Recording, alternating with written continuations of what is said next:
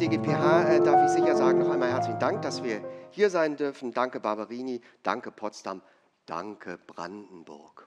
Warum Brandenburg? Ohne Brandenburg geht es natürlich nicht, in der Geschichte nicht und vor allen Dingen speziell in der Fotografie, denn ohne einen bestimmten brandenburgischen Bürger würde ein bedeutendes Stück Technik in der Fotografie fehlen. 1879 wurde im Dorf Lünow im Landkreis Teltow-Flieming Oskar Barnack geboren. Der Mann, der für die Firma Leitz Kamera, abgekürzt Leica, vielleicht manchem bekannt, nichts weniger tun sollte, als die 35 mm Kamera zu erfinden. Was wäre die Welt ohne diese Erfindung? Von daher danke Herr Barnack, danke Leica, die übrigens noch eine wichtige Rolle spielen wird beim Dr. Erich Salomon Preis heute Abend und danke Brandenburg. Und in diesem Sinne darf ich den Staatssekretär für Wissenschaft, Forschung und Kultur des Landes Brandenburg begrüßen, Herrn Tobias Düno. Als ich heute Morgen ähm, meinen Urlaubsort an der Ostseeküste verlassen habe, meine Kleinfamilie zurückgelassen habe, um rechtzeitig an diesem Abend hier bei Ihnen zu sein, Das war noch nicht die Pointe, aber ich finde, das ist ein angemessener Applaus. Ähm, da hat mir die Deutsche Bahn äh, noch ein paar zusätzliche Minuten im ICE geschenkt, ähm, in, dem ich, in denen ich mich auf die heutige Veranstaltung vorbereiten konnte. Und da ist es mir siedenheiß eingefallen, dass das Ganze hier als Gala eingeladen worden oder äh, als Gala apostrophiert worden ist. Und zu einer Gala trägt man normalerweise ja Frack oder sonst irgendwie sowas. Und ich dachte mir, verdammt nochmal, Deutsche Gesellschaft für Fotografie, da stelle ich mir jedenfalls die männlichen Mitglieder normalerweise eher nicht im Frack, sondern im schwarzen Rollkragenpullover vor. Ich verfüge aber weder über einen Frack noch über einen Rollkragenpullover und dann habe ich mich entschieden, okay, dann nehme ich sozusagen als Mittelding zwischen beiden, ziehe ich mir so eine Krawatte an. Also ich bitte Sie zu entschuldigen, wenn es unpassend ist, es war einfach den Umständen geschuldet. Ganz kurz, das zu machen, was eigentlich ja so in der Regel das Wesen eines, eines Grußwortes sein sollte, nämlich Danke zu sagen. Und den Dank kann ich jetzt nur an die Deutsche Gesellschaft für Fotografie richten. Die Preisträger kenne ich offiziell noch gar nicht, die Preisträgerin die DGPH, das war mir vorher gar nicht klar, erst als ich sozusagen den Namen Irrgang mit Komma DGPH gesehen habe, war mir klar, das ist sozusagen nach der Societas Jesu die zweite weltumspannende äh, Organisation ist, die so wichtig ist und so auf die Persönlichkeit ihrer Mitglieder ausstrahlt, dass man das sozusagen zum Namensbestandteil macht. Fand ich auch beeindruckend. Aber eigentlich wollte ich Ihnen Danke sagen aus ganz, ein paar ganz wahnsinnig banalen Gründen. Ich wollte Ihnen Danke sagen, weil Sie und Ihre Mitglieder es schaffen, in einer Zeit, wo wir alle schier ersticken, in einem, in einem Meer von Bildern, immer wieder von neuen Bildern, Bilder zu schaffen, die Bedeutung transportieren oder Bedeutung schaffen. Dafür vielen Dank. Und ich danke Ihnen auch dafür, dass Sie es schaffen, als Mitglieder uns als Gesellschaft mit dieser Flut von Bildern nicht alleine zu lassen, sondern dass sie auch die Reflexion über Bilder, die Frage beispielsweise, wie man mit Bildern die Wahrheit sagt oder wie man mit Bildern halt auch lügt, sozusagen zum Gegenstand ihrer Arbeit gemacht haben und machen. Und ich wollte Ihnen auch dafür danken, dass Sie sich der Frage widmen, was eigentlich künstliche Intelligenz sozusagen mit unserem Bild von der Welt macht und damit auch mit der Welt und wie sich das alles irgendwie verändern wird. Und ich möchte Ihnen auch dafür danken, dass Sie sich neben diesen großen Fragen auch den vermeintlich kleinen Fragen widmen, wie beispielsweise den, wovon eigentlich Fotokünstler oder Bildjournalistinnen in Zukunft eigentlich leben sollten. Eine Frage, von der ich glaube, dass sie gut aufgehoben ist, natürlich bei der Deutschen Gesellschaft für Fotografie, aber vielleicht auch die Deutsche Gesellschaft ohne Fotografie sich noch intensiver mit dieser Frage äh, beschäftigen sollte. Und zu guter Letzt möchte ich mich bei Ihnen bedanken, weil Sie bei aller Begeisterung für und Kompetenz im Bereich der Fotografie, wenn ich das richtig gesehen habe, versuchen jedenfalls nie zu vergessen, dass es toll ist, Fotos zu haben und zu machen und sich um Fotos zu kümmern, aber dass es irgendwie auch immer um Menschen geht und auch dafür ganz herzlichen Dank. Ja, also nochmal formvollendet. Ich begrüße Sie ganz herzlich, wenn auch nicht in meinem Museum, sozusagen im Namen der brandenburgischen Landesregierung. Ich hoffe, Sie haben einen tollen Abend hier. Ich hoffe auch, Sie lassen es richtig krachen. Ähm, allerdings nicht so, dass Sie am nächsten Tag vergessen haben, wie schön es in Brandenburg ist. Und ich hoffe auch, dass Sie möglichst häufig wiederkommen. Vielen Dank. Wir wollen natürlich noch mehr wissen. Wir wollen heute Abend alles wissen, wie die Preise der DGPH verliehen werden. Und dieses Wissen wissen zwei Menschen ganz genau. Die Doppelspitze des geschäftsführenden Vorstandes der DGPH, Michael Bidowitsch und Dr. Martina Mettner. Wir freuen uns sehr, dass wir heute hier im Museum Barberini unsere erste Fotogala feiern und danken für die Gastfreundschaft. Ein herzliches Willkommen auch von meiner Seite. Ähm, ich begrüße unser Ehrenmitglied Gerd Krosshofer, den habe ich gesehen, dass er heute hier ist. Und ich begrüße alle Preisträger.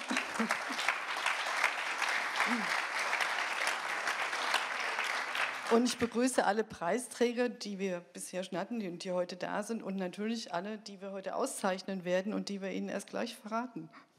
Ja, wir wollen es spannend machen. Genau. Und spannend finden Sie vielleicht aber auch die Frage, welche Preise verleiht eigentlich die DGH, beziehungsweise sind das nicht eh schon viel zu viel? Also wir verleihen sieben Preise im Moment und vier davon heute Abend. Ähm, und ein Sektionspreis wird im kommenden Jahr noch dazukommen. Die Auszeichnungen signalisieren die Wertschätzung für unterschiedliche Aspekte der Fotografiekultur, die sich auch in der großen Tradition der DGPH wiederfinden. Und an der LED-Wand sehen Sie Ausschnitte aus einem Buch, es zeigt Preisträger der DGPH. Das Buch hat den Titel Die DGPH zwischen Wissenschaft und Kunst, herausgegeben von unserem verehrten Kollegen Manfred Heiting. Und übrigens der Preis ähm, von der Sektion Kunst, Markt und Recht, der jetzt im nächsten Jahr verliehen wird, hat den Titel Emerging Photographer Award. Sie wissen ja alle, dass wir Sektionen haben in der DGPH, die sich mit spezifischen Fachthemen ähm, befassen. Und ähm, bei den Preisen der Sektionen entscheidet in der Regel eine Jury über die Vergabe des Preises. Und unsere Hauptpreise sind der Dr. Erich Salomon Preis und der Kulturpreis. Und das sind die beiden Preise, die wir vom Vorstand vergeben. Und zwar ähm, werden alle Mitglieder der DGPH, Sie sind abgelenkt, ich merke das schon, ähm, werden alle Mitglieder der DGPH, also viele von Ihnen sind ja hier aufgefordert, Vorschläge einzureichen. Also Sie haben da äh, die Möglichkeit mitzubestimmen natürlich. Ähm, und ähm, dann wird, haben wir eine Liste vorliegen, für jeden Preis separat, selbstverständlich. Und dann werden äh, die Namen durchgegangen und diskutiert. Und die, die am meisten äh, Zustimmung bekommen, da gibt es dann ein besonderes Prozedere, das Michael jetzt noch mal kurz erklärt. Also je ein Vorstandsmitglied bereitet sich auf diese Sitzung vor mit einem detaillierten Präsentationsvortrag. Darüber wird dann mehr oder weniger lange und heftig diskutiert. Und irgendwann gibt es eine Abstimmung und dann steht fest, wer mit dem Kulturpreis und wer mit dem Dr. Erich Salomon-Preis äh, ausgezeichnet werden wird. Genau. Und das halten wir geheim, jetzt neuerdings jedenfalls, so gut es geht. Ähm, das Besondere an der DGPH für alle, die noch neu in der DGPH sind oder als Gäste auch hier sind, ist ja, dass wir nicht nur Fotografen auszeichnen, wie viele andere Verbände in diesem Bereich, sondern die Fotokultur in ihrem kompletten Spektrum, inklusive Wissenschaft, Medizin, Technik, aber eben auch Bildung. Ein ganz wichtiger Aspekt. Sie werden das wissen. Ähm, Molinatsch hat äh, in den 20er Jahren damals gesagt, dass der ähm, Fotografie-Unkundige der Analphabet der Zukunft sein wird. Wir sind jetzt wieder in den 20er Jahren, es drängen sich Parallelen auf. Und ähm, wir möchten auch ganz besonders auf die Bedeutung der Bildung hinweisen und das tun wir jetzt als nächstes. Der zehnte Bildungspreis, den wir vergeben. Der Bildungspreis wurde 2013 gegründet und ähm, das ist die zehnte Ausgabe und wir haben vor einem Monat die Jury-Sitzung gehabt, wo wir über 35 Projekte gesichtet haben. Äh, die Jury bestand aus meinen Vorstandskolleginnen Berti Kamps und Erol Gurian, die auch heute Abend hier sind, und Peter Fischer-Piel, einem Vertreter des letzten Preisträgers, dem Volkshochschul-Fotozentrum der Volkshochschule Berlin-Kreuzberg. Äh, wir vier haben dann ähm, die PreisträgerInnen ausgewählt und eine Shortlist erstellt mit drei ähm, Nominierungen. Ja, es läuft jetzt durch. Genau, mit drei lobenden Erwähnungen, die jetzt erstmal gezeigt werden kurz. Das ist einmal Dezentralbild MigrantInnen in der DDR. Dann das Fototreff in Berlin. Und das Alfred Krupp Schülerlabor der Künste der Volkwang Universität der Künste in Zusammenarbeit mit der Alfred Krupp von Bohlen und Halbach Stiftung. Und Preisträger ist die Photobus Society. Ich darf, die, ja, darf euch nach vorne bitten.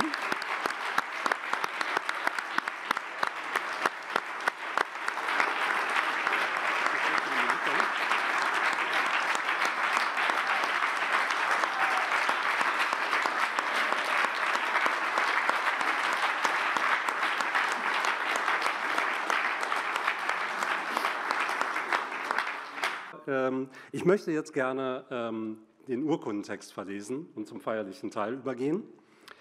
Der Bildungspreis 2023 der Deutschen Gesellschaft für Fotografie wird vergeben an die Photobus Society. Mit ihrem Bildungspreis zeichnet die Deutsche Gesellschaft für Fotografie die Photobus Society für deren seit 2018 praktizierte, einzigartige und innovative Bildungsarbeit von und mit Studierenden der Fotografie aus. Die Jury überzeugte besonders das hierarchiefreie, offene Konzept der Partizipation aller Mitglieder der Photobus Society. Mit ihren zahlreichen Aktivitäten in Form von Exkursionen, Workshops und Summercamps in Europa haben sie spannende Möglichkeits- und Erfahrungsräume für einen wertschätzenden interkulturellen Austausch geschaffen. Jenseits bekannter Konventionen steht das Von- und Miteinanderlernen in der Auseinandersetzung über Fotografie im horizont erweiternden Mittelpunkt der Projekte. Köln, 28. Oktober 2023, Deutsche Gesellschaft für Fotografie. Herzlichen Glückwunsch.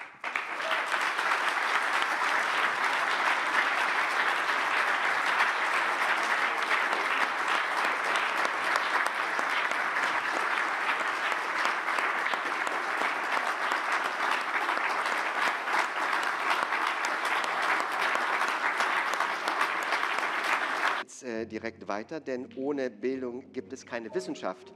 Und äh, Wissenschaft führt zu weiterer Bildung. Das ist einfach so wie eine Spirale, die sich nach oben dreht, hoffentlich. Und so setzt sich das fort. Und in diesem Sinne freue ich mich, dass wir jetzt direkt mit der Preisverleihung des DGPH Wissenschaftspreises fortfahren können. So, wer in diesem Preis diesen Jahr, in diesem Jahr verdient hat, erfahren Sie vom Vorsitzenden der Sektion Wissenschaft, Medizin und Technik, Herrn Roy Hessing. Und er hat uns einen Film mitgebracht.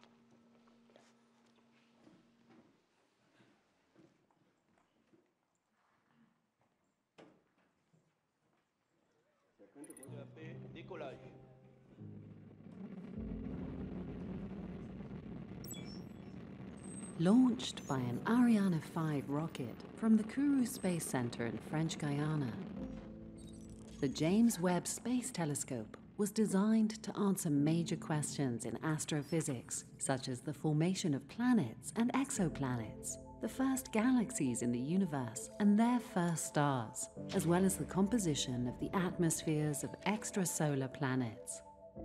During the journey, the deployment of the 6.6 meter primary mirror is a delicate and unique operation.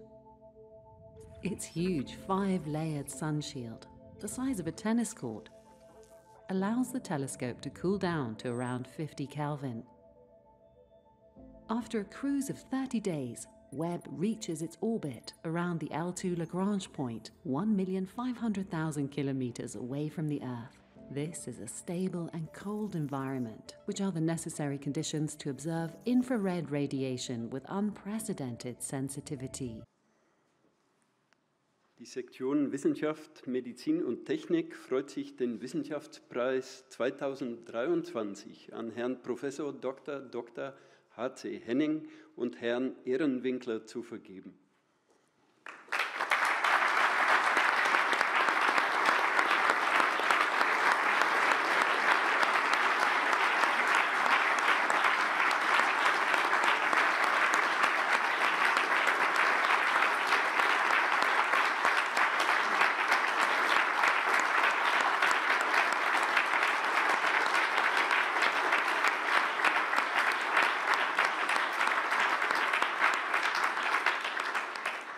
Der Wissenschaftspreis 2023 dient der großen Anerkennung der wissenschaftlichen Forschung, neuer Entwicklungen im All und der Entwicklung neuer fotografischer Aufnahmetechniken auf höchstem Niveau. Urkunde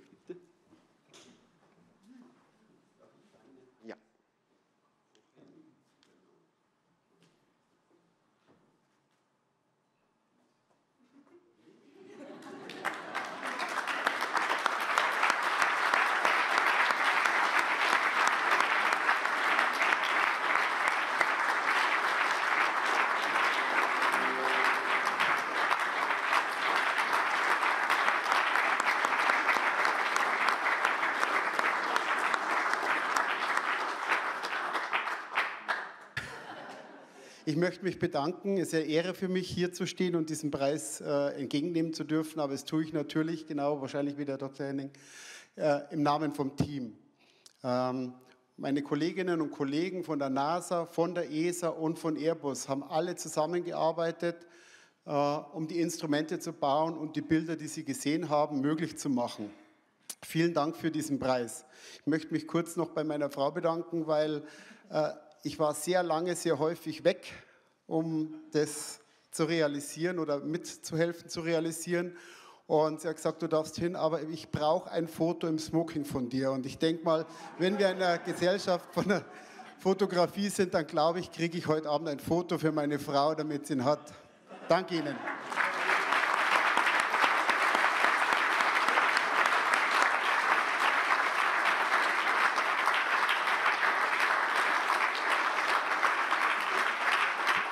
Vielleicht kriegen wir das Foto ja sogar beide. Nicht? Also wir sind wahrscheinlich die einzigen beiden, die ein Smoking tragen und mit einem Black Tie gekommen sind.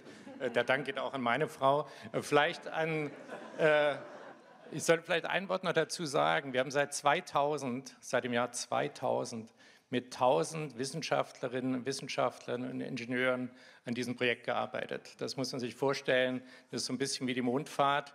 Und die Bilder, die Sie jetzt sehen, die sind das Ergebnis davon. Und der Start, den Sie gesehen haben, war im Jahr 2021, kurz nach Weihnachten, am 26. Dezember, bin ich von der Weihnachtstafel aufgestanden und habe gesagt, ich muss jetzt den Start sehen. Und der Start ist von einer, einer europäischen Rakete äh, erfolgt und war perfekt. Charlie Casanova.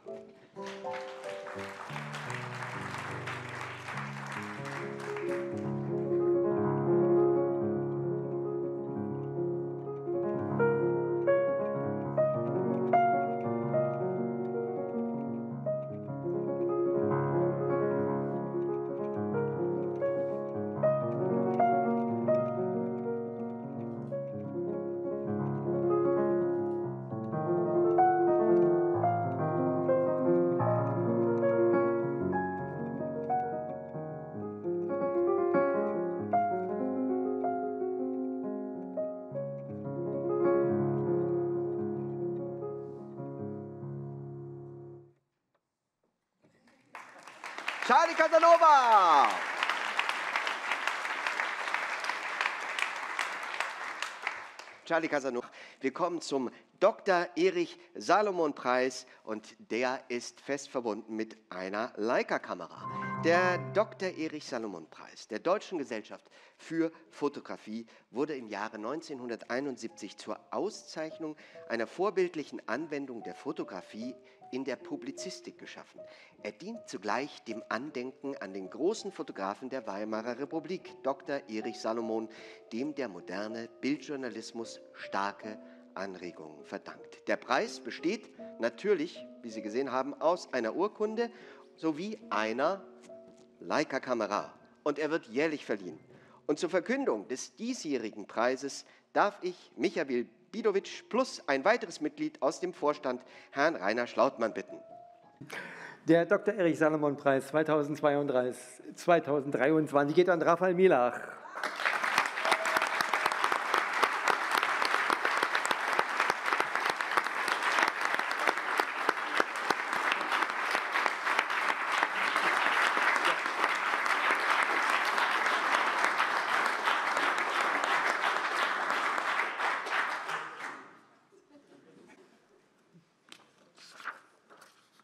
Der Dr. Erich Salomon Preis 2023 der Deutschen Gesellschaft für Fotografie wird vergeben an Rafael Milach für die herausragende Verbindung von Aktivismus und Kunst mittels dokumentarfotografischer Arbeiten und publizistischer Aktivitäten. Rafael Milach erforscht Themen wie Migration und Wandel, insbesondere innerhalb des ehemaligen Sowjetblocks. Sein Werk umfasst Fotografie, Konzeptkunst, Bücher, Video und Kuration. Er ist Mitbegründer von Sputnik Foto und dem Archiv der öffentlichen Proteste einer Plattform für visuelle Dokumente der gesellschaftlichen Spannungen in seiner Heimat Polen. Rafael Milaw steht in der Nachfolge von Erich Salomon für die Transparenz politischer Prozesse mit fotografischen und publizistischen Mitteln. Herzlichen Glückwunsch.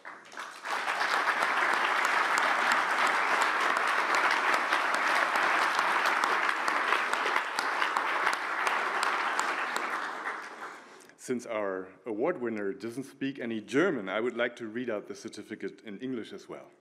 The Dr. Erich Salomon Award 2023 of the German Photographic Society is granted to Raphael Milach for his outstanding combination of activism and art through documentary photography and journalism. Raphael Milach explores themes of migration and change, particularly those occurring in the former Soviet bloc. His work includes photography, conceptual art, newspapers, photo books, video, and curatorship. He's the co founder of Sputnik Photo and the Archive of Public Protest, a platform for visual documents of socio political frictions in his homeland of Poland. In the tradition of Erich Salomon, Raphael Milach stands for the transparency of political processes with photographic and journalistic means. Cologne, October the 28th, of 2023. Michael Widovic and Dr. Martina Mettner.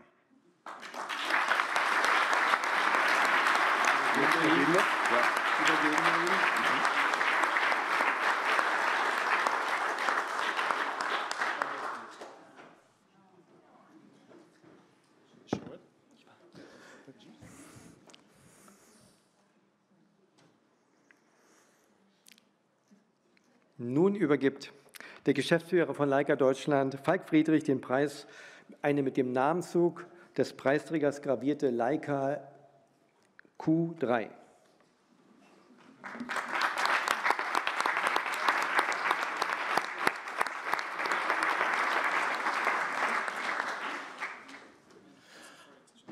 It's a fair exchange. Uh, on behalf of Leica Camera, it's a great honor and privilege for us Leica Camera feels a very strong connection and commitment to this prize for important documentary work, reportage work, which you have done. So it's an honor for us to award you with this Leica Q3 with your engraving. And due to its compactness, it could possibly, hopefully, be a future companion for your work. All the best.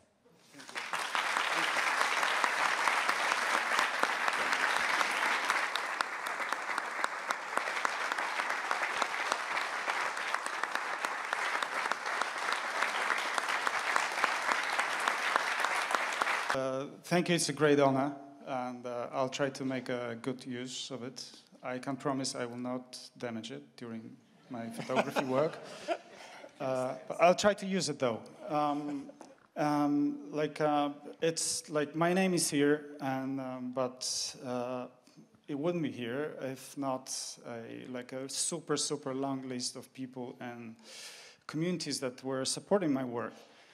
And uh, I think like this, like the, the greatest thanks uh, goes to should go to uh, like the like several collectives that I'm part of, but especially like the Archive of Public Protests, uh, because without them uh, I couldn't survive this uh, you know dark times that Poland was in recent years, and you know our recent win in. Um, in, uh, in our uh, parliamentary election is just a start of a long way back to democracy and respecting human rights.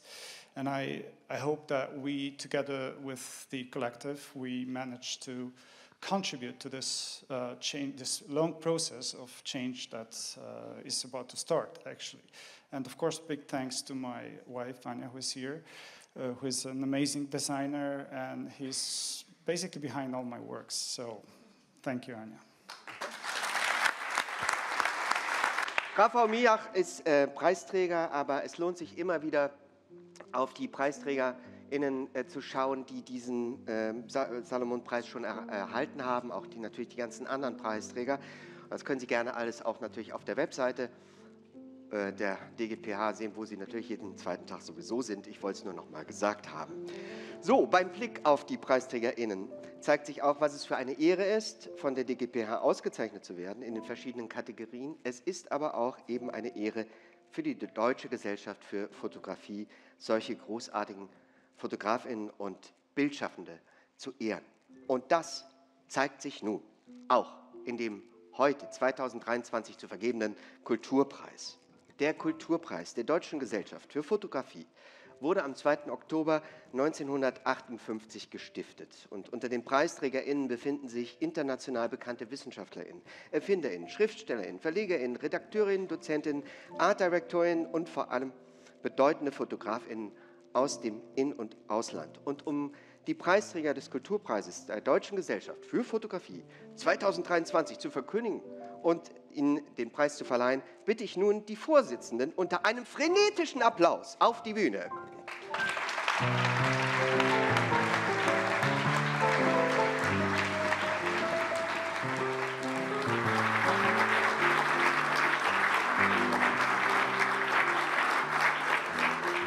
Ich fange jetzt einfach mal an. Was ist der Kulturpreis?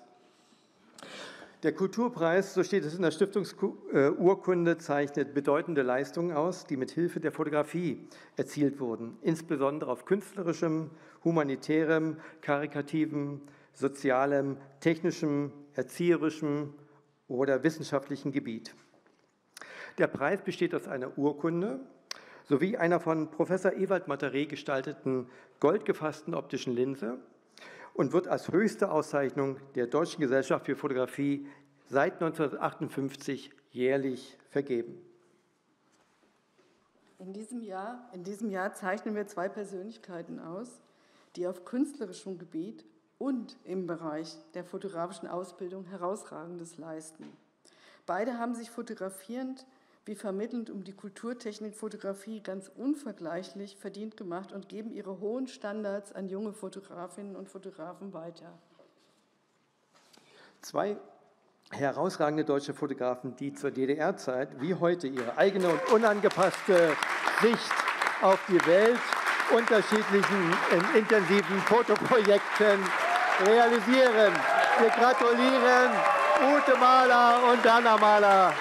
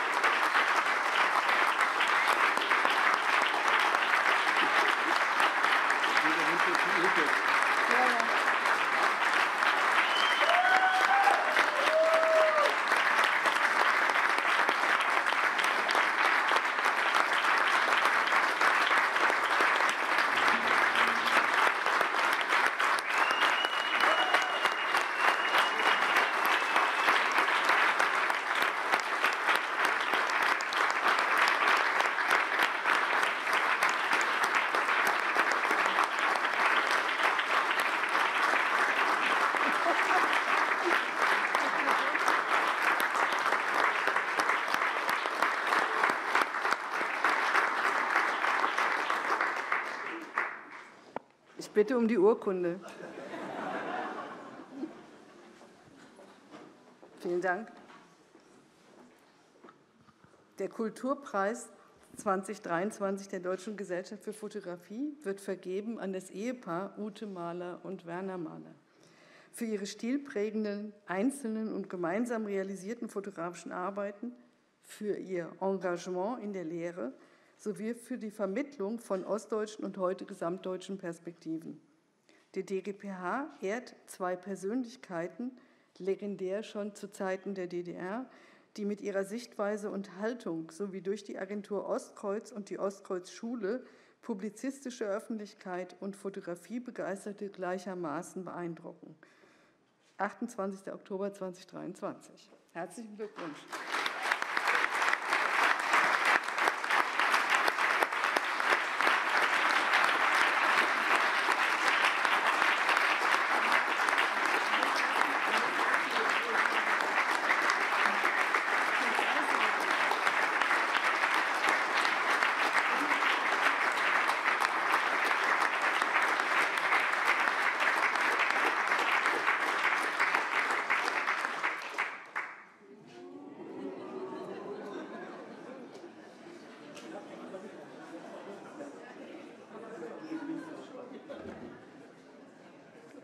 Sie was sagen möchten? Hier.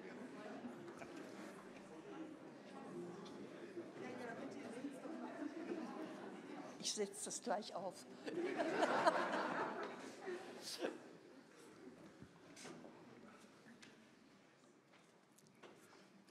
Jetzt geht's weiter mit dem Gespräch. Ich weiß jetzt nicht, wer anfängt, aber es ist wahnsinnig aufregend. Und vielen Dank. Das ist eine große Ehre. Danke.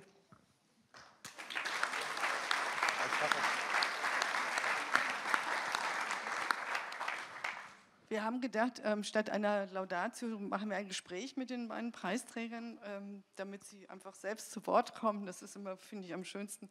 Ähm, ich wollte ein paar Worte vorneweg sagen, damit wir ein bisschen Kontext noch haben. Schon in der DDR haben beide, wie Sie mir erzählt haben, neben Auftragsarbeiten auch eigene Projekte realisiert, was ich sehr bewundere, waren freiberuflich tätig und im Verband bildender Künstler. Ute Mahler wurde, wissen wahrscheinlich alle hier im Raum, bekannt durch ihre Modefotografie für das Magazin Sibylle.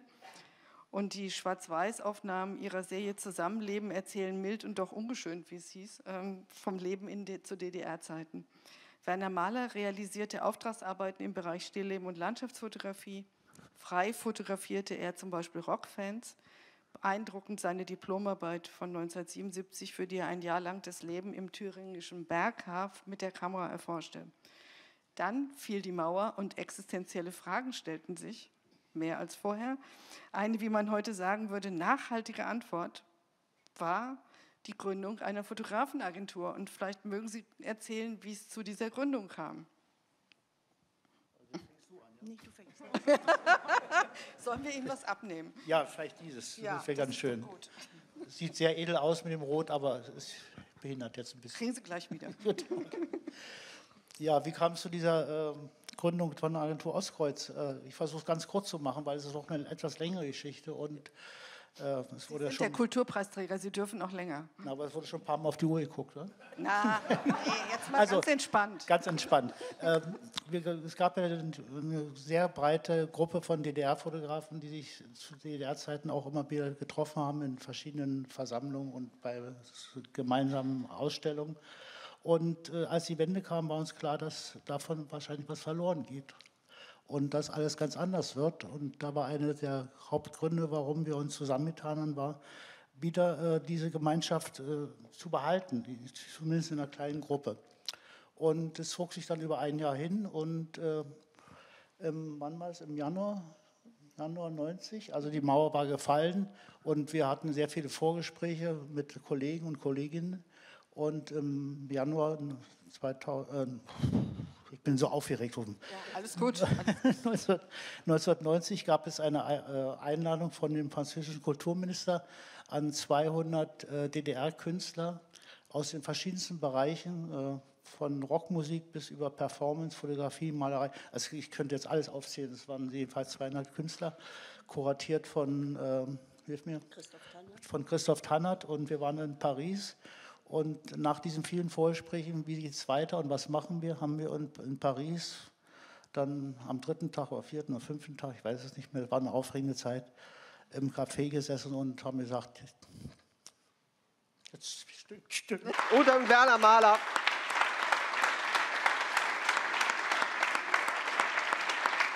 Sie können ruhig bei uns bleiben, weil wir sind im Grunde genommen, was soll nach Ihnen noch kommen? Ja, wir sind ja im Grunde genommen auch äh, zu Ende. Aber ja, was zu trinken kriegen Sie sofort. Ich muss bloß noch kurz hier die Leute rausschmeißen, wir sind gleich durch. Aber ich finde eigentlich, es ist nicht Oscar, sondern Grammy, denn hier sind eigentlich die Rolling Stones der Fotografie auf der Bühne. You Start Me Up. Meine Damen und Herren, das war sie, die Fotogala 2023 der Gesellschaft für Fotografie und unser herzlicher Glückwunsch an alle PreisträgerInnen heute Abend.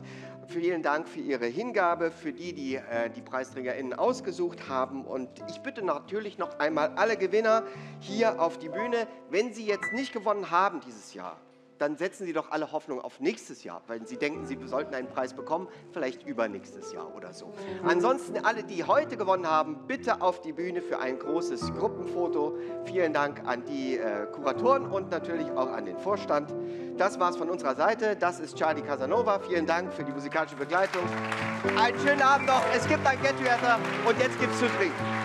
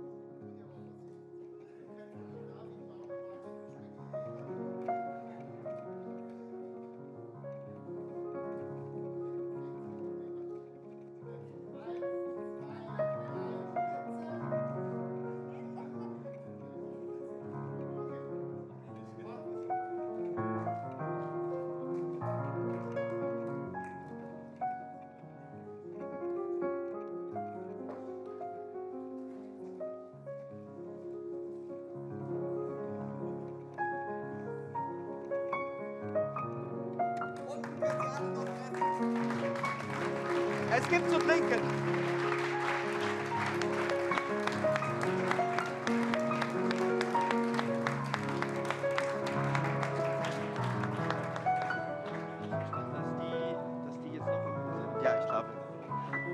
Es gibt ein Get-Together unten, da können alle noch trinken und mit den PreisträgerInnen feiern.